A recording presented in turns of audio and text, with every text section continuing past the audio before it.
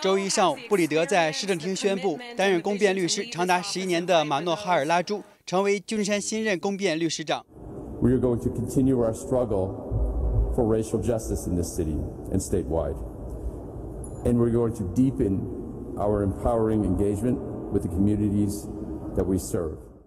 拉朱此前主要负责重罪案件，他的任期将到今年十一月选举时结束，届时选民将投票选出新一任的公辩律师长。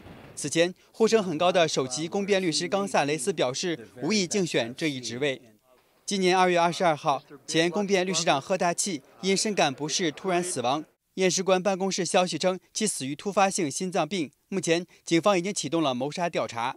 新唐记者林轩综合报道。